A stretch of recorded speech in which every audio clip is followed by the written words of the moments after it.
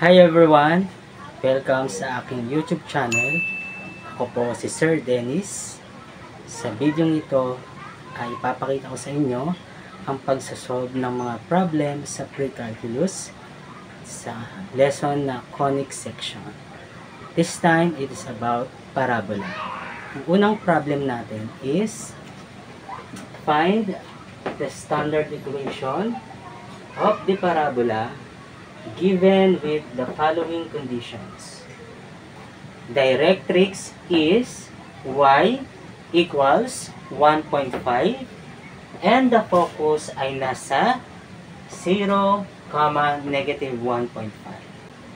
Para makuha natin ang standard equation ng parabolang ito is dapat i-sketch muna natin kung nasaan yung mga properties na yan.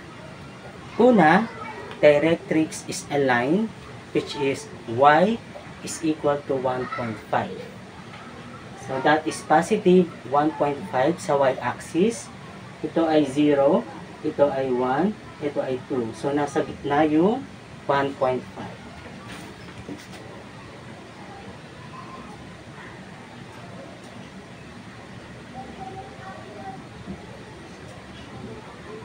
Ito yung ating directrix, y is equal to 1.5. And then, yung focus ay nasa 0, negative 1.5.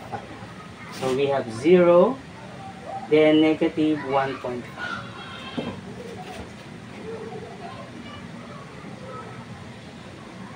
Ito ay focus. Now, ang focus at ang directrix ang middle point nila ay vertex.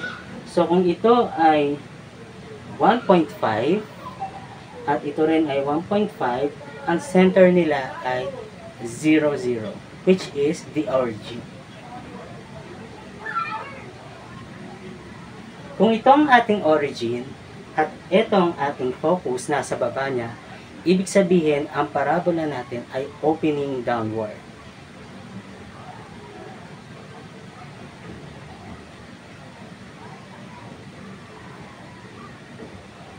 At dahil downward ang ating parabola, yung distance from the vertex to the focus is negative value. That is negative 1.5. C is equal to negative 1.5. Yan. Pwede natin makuha yung standard equation ng parabolang ito kasi alam na natin yung value ng C which is negative 1.5 and then alam na rin natin yung value ng H at saka ng K dahil lang galing iyon sa vertex which is 0, 0.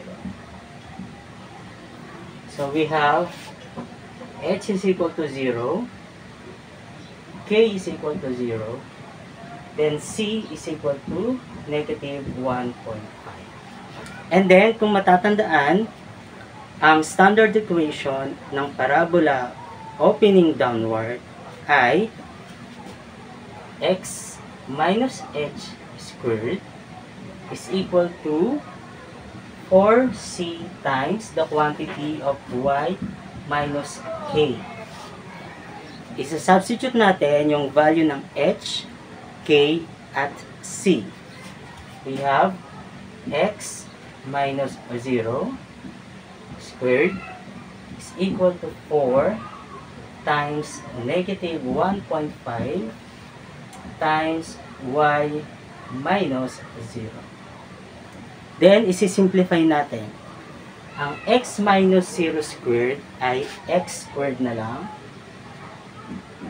And then, 4 times negative 1.5 is negative 6. And then, ang y minus 0 is y na lang. Therefore, ang ating standard equation is x squared is equal to negative 6y.